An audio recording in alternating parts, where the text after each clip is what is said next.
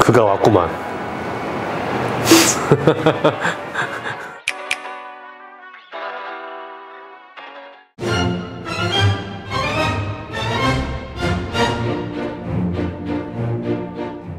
아 머리 혼자 감으시게요? 어, 감아줄 거야? 어, 감겨줘야지. 진짜? 어, 화색이 피네. 앉아. 제 친구인데 여러분들. 파워무비의 배우로 활동하고 있고요. 지금 대회를 나가요. 그래서 지금 많이 예민해요. 자, 우선은 머리를 말려서 디자인을 보여드릴게요. A few inches later.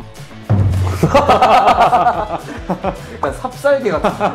이거 썸네일 좋은데 이거?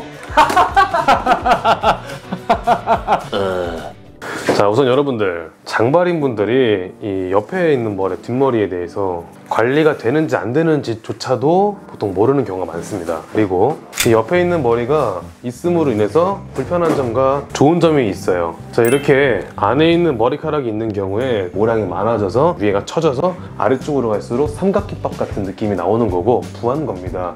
그래서 머리가 안 이쁘다고 느끼는 게 첫 번째. 그리고 그냥 머리를 어떻게 해야 될지 모른다고 많이들 말씀을 하세요. 머리를 묶었을 때 나오는 디자인이 있고 풀렀을 때도 나오는 디자인이 있는데 이제 여기 길이부터는 고데기 혹은 아이롱 뭐 블로드라이를 통해서 디자인을 만들어주지 않으면은 이상 관리가 안 돼요. 엔간하면은 고데기를 통해서 모양을 잡아주는 게 형태를 잡게 되게 좋겠죠.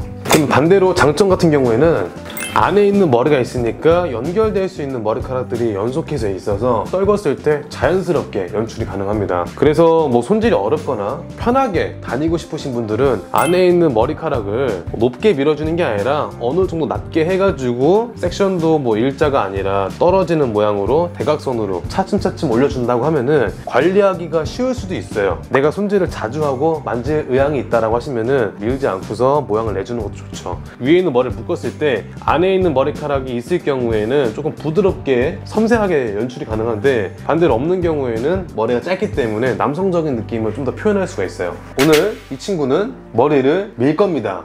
이 영상을 왜 찍냐? 이 영상을 찍어서 보여드림으로 인해서 좀 귀감이 됐으면 좋겠습니다. 이 가이드가 되어서 여러분들이 선택할 수 있는 방향지에 뭐 한 걸음 나가갔다면 된 거 아닐까요? 바로 진행할게요.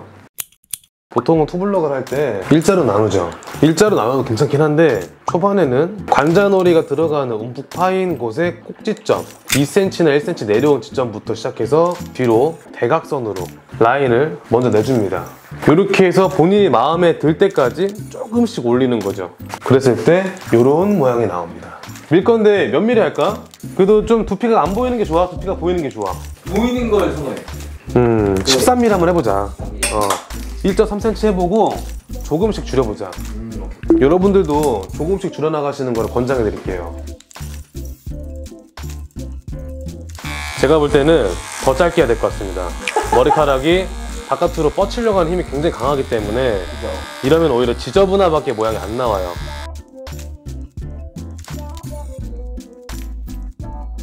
오. 자 이제 덮어서 확인 섹시하지? 이건 내 권장하는 길이 이 이상 위로는 정말 맥시멈으로 1cm까지만 했으면 좋겠고 그 볼륨감이 틀려 이제 기댈 수 있는 머리가 사라지기 때문에 위에 있는 머리가 올라간 느낌인 거고 방금 내가 잡은 거에서 1cm만 더 올리는 거거든? 응. 어, 난 이거 nice.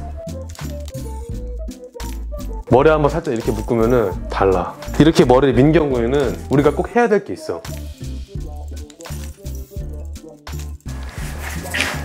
마음에 들어. 음, 오케이 그리고 반대쪽 해볼게 살짝 묶어봐봐 이제 이런 느낌이야?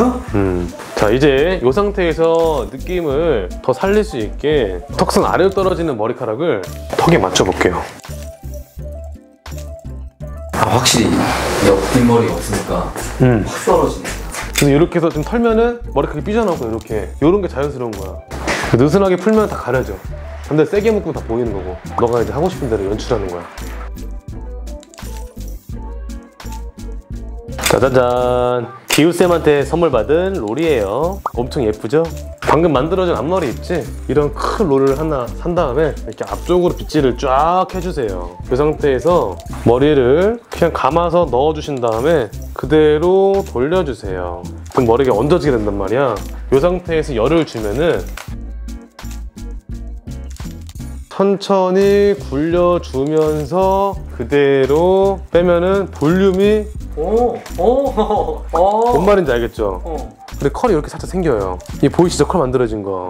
위에 있는 앞머리 부분이 앞쪽으로 튀어나오기 때문에 입체적으로 표현할 수 있습니다. 자연스럽게 이렇게 해주시면은 볼륨도 생겨요. 대만족이야. 진짜. 그럼 됐어. 자, 장발에 대한 컨텐츠를 다뤄달라고 말씀하시는 분들이 되게 많았습니다. 그래서 오늘 장발의 컨텐츠를 오늘 찍어봤는데 여러분들께 이 영상이 가이드가 됐으면 좋겠습니다. 이상 금강연아였고요. 도움이 되셨다면 구독이랑 좋아요 부탁드리고요. 다음 영상에서도 인사를 드리도록 하겠습니다. 어, 제 친구 파워무비 장민욱도 구독이랑 뭐 좋아요 한 번씩 눌러주시고요. 여기 한번 나와서 말 좀 해줘. 확실히 머리가 정리가 돼서 더 남자 남자가 됐네요. 네, 앞으로 더 남자 남자 한 모습 보여드리겠습니다.